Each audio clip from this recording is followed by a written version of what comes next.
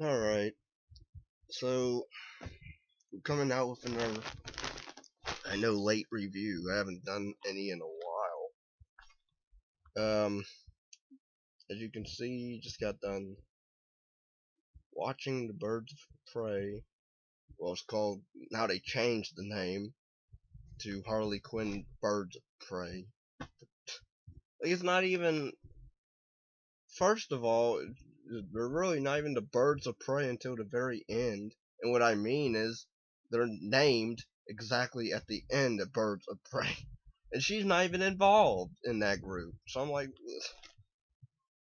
it's like Harley, it's Harley Quinn meets the soon to be Birds of Prey. Like she, is she part, part of the group in the comics? I assume.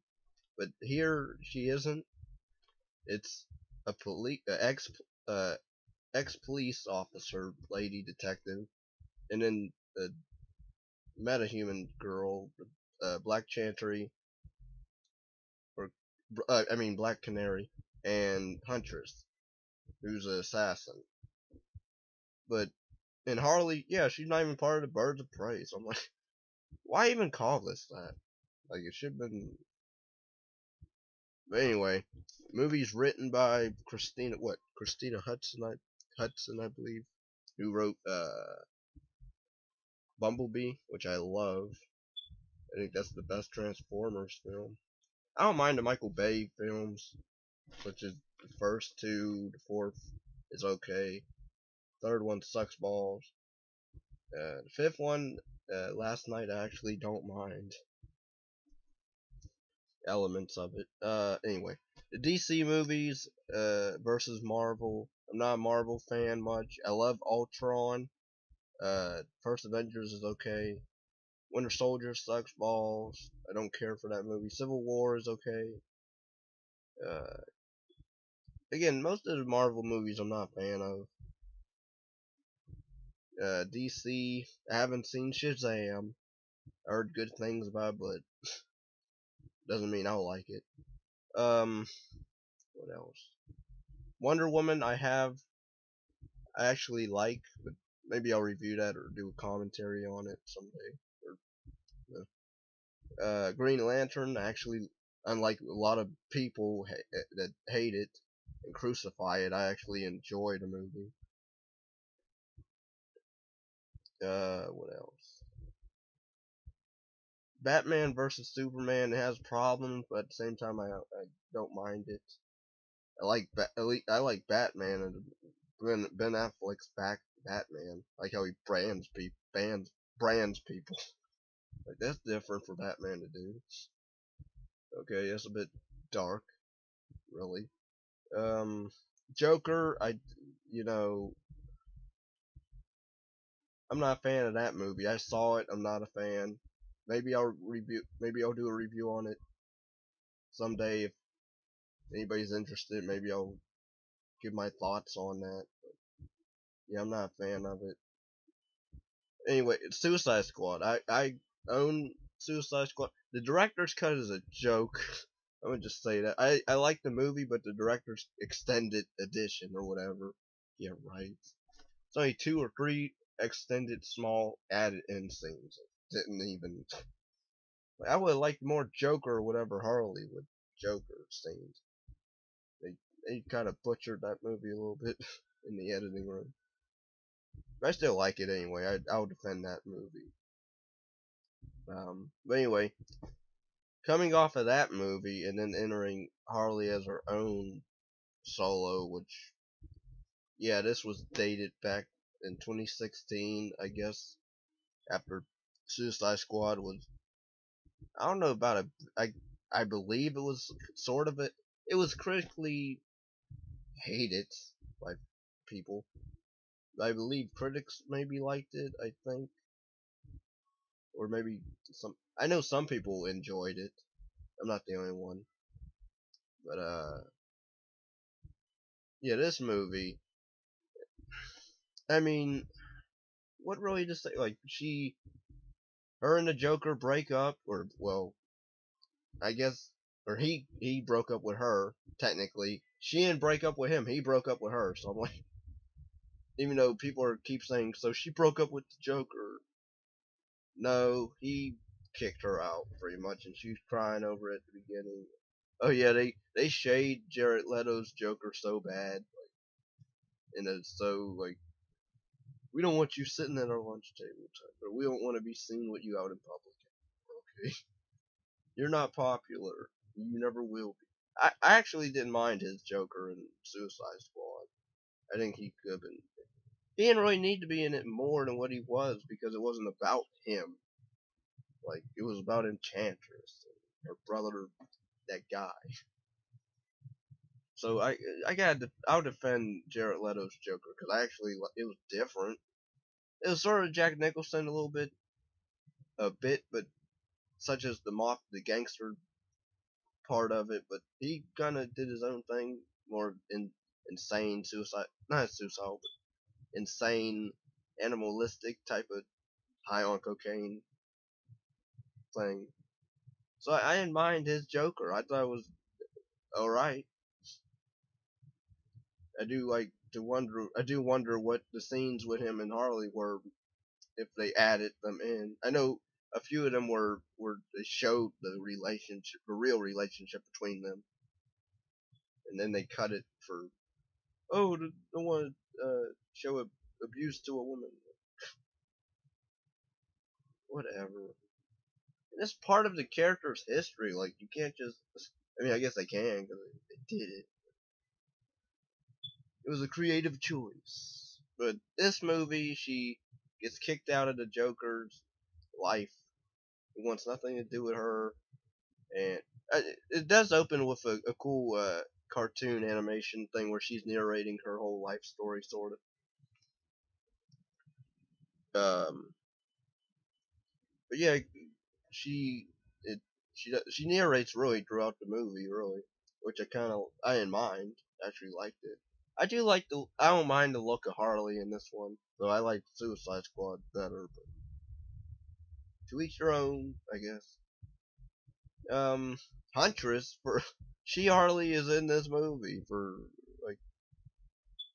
I mean, I don't understand what that was all about. Maybe she was filming another movie at the time or something, or because her scenes are kind of short. She's like not really in the movie. Like she's she kills like a mob leader guy, and then she's gone throughout the rest of the movie, and then she pops in when uh, Harley and the uh, Cassandra Cain, I believe, the Cain girl. They're at the. Uh, I guess this is a restaurant house building thing, uh, duplex place where Harley stays as well. But then that guy, he's a. I don't want to call him a douchebag because he he kind of he sold her out, but at the same time as they trashed his restaurant and probably threatened him, or well, he took the money, but you know, I mean, five thousand dollars on. Yeah, I know where she is uh, at my place. But yeah, everybody pretty much now everybody knows that her and Joker split. They decide that everybody wants re- wants revenge on Harley. So it was, I would have liked it. It could have been cooler if uh, now that I'm thinking about it, it reminded me of the Warriors, except less cool. because in that movie, it was the same. It was sort of the same thing. Well, everybody assumed they killed the, the guy that wanted to unite all the gangs together. It was made, this gang of uh, from the from uh, Coney Island. They're blamed for uh, they're framed for the murder of this Osiris guy, and every, all the gangs want to kill them pretty much. But that's sort of what Harley's going through with every single mafia or gang that she ever, her and the Joker ever wronged. They're out for her. But stuff that's not even really that cool because they don't really do much with it because it's just people they already introduced, I guess, in the well, half in the movie or just random people that they made up for film, but like it could have been so cool. It's rated R and yet there's not really much. I mean, they cuss So I guess uh, that's why it's got an R rating. The action is pretty good, I will say. I haven't seen John Wick films, so I don't know how the choreography would. I know a lot of people said there's reshoots, and the guy that did John Wick did some of the uh, fight scenes for this film. But I thought they were pretty good uh, choreographed fight scenes. I, there was one scene where Harley just walks in a, a, a police station. Just does, she doesn't kill the police, but she like just shoots these red. Uh, I don't know what they are. These little red ball things in their faces. Through it with a shotgun. I'm like, wow. And confetti shoots out of one of them at them, and uh, yeah, she just marches in a in a police station. I'm like, nobody has a gun. You don't just pull your guns out and just. And even when she has her back turned, like going to uh, to the the prison uh, section, like one of the cops, I'm sure he had his gun on his uh, belt, and he couldn't have just gone up behind her while she was walking and just cap, cap her in the in the head, back of the head or back or something. But nope. And then we have no movies. So. But yeah. Uh. Anyway, I it's trying to be like Deadpool a little bit, a female Deadpool, where you have cussing and you have, of course, Harley winking at the audience at the end, of course. Um, or try, trying to break the fourth wall. I don't have a problem with that, but she people and then there people uh complained about the whole oh this is a attack on being a man on a man if you're a man and you didn't like this movie you're sexist and a jerk just mean uh I don't dislike the film I didn't mind it after watching I was just eh I liked Margot Robbie as an actress. Um, Mary Elizabeth Winstead. Almost said Wednesday. Um, she's okay. I don't, I don't mind her, but again, she's not in the movie as much until the very when they do the final fight. They all meet together and we got band together and be like in the trailer. Um, what else? The acting isn't bad, except the girl I played Cassandra Cain, who's gonna be Batgirl, I guess. If they even after the back, not really backlash, but after the failed box office of this movie, I don't know about that. I know they're doing the Batgirl film and a Flash film that I'm not interested in. At least not that version. They're getting the guy that played him in the Batman in the uh, Justice League. No, get the guy from the TV series. He did a better. Uh, I forget his name. I haven't watched that series in a while.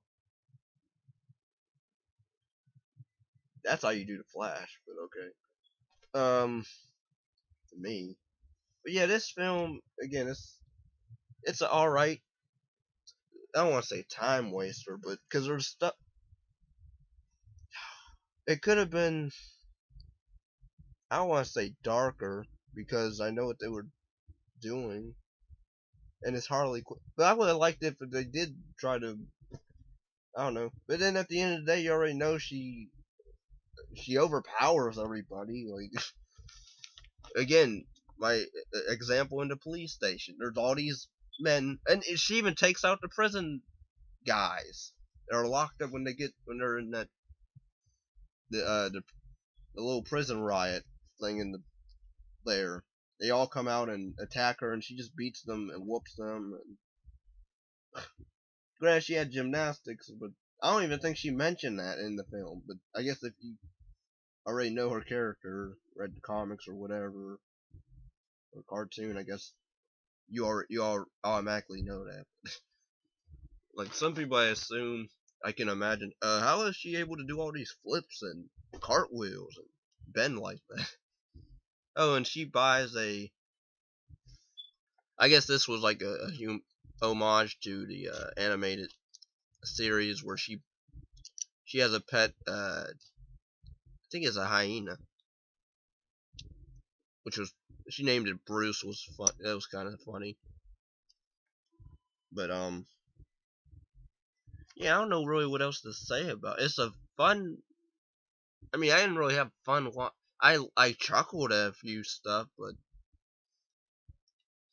I wasn't really like, oh my god, this is so amazing. Like, no, just at the end of the day, it's alright time. I guess I have to say it's a time waster. But there's not really bad parts, but oh, and also Black Mask, uh, the guy who played Obi Wan Kenobi. I thought he did an interesting take on that character. Same with the Victor Zsasz, who I know in the Gotham uh, TV show, he reminds me of the Hitman, like Agent Forty, Agent Forty Seven. He reminds me of because he always has two guns out and he's bald and he's a hit guy, uh, essentially, in Gotham. But in this movie, he's a murderer, and he cuts himself for every victim he cuts. And apparently, I guess he he's a fan of Leatherface because he cuts people's faces off, and I don't know what he does with them after. So I guess he took lessons watching Texas Chainsaw Massacre. Two. um, But yeah, I I mind the villain, even the way they kill him at the end, where he just I'm like, how did he? I'm, just blows up with I guess like uh I guess she put somehow quickly or snuck a grenade in them and then they push him off the edge of the dock and then he blows into the water. It's not even really that gory either. It was just pieces of them, but I guess that's gory. Yeah, overall, uh, it's a oh, it's a time waster. Not bad film. Not really directed bad. It's just you're there's no really uh there's not a lot of depth in the movie like it like there should be. They want us they want to call this an empowering movie of Harley being on her own and she doesn't really reflect on much of that because she cries at the beginning of broke uh, Joker breaking up with her, and then she tries to use leverage of because she knows if he if she's protected by him, nobody's gonna mess with her. So she tries to still use that instead of dealing being on her own, which she does at the end, kind of. But and then she takes the Cassandra girl as her own. She, I do like the fact that they don't. They she's sort of she's an anti character where because she does try to sell the kid off. Essentially, she does try to trade the kid for her life.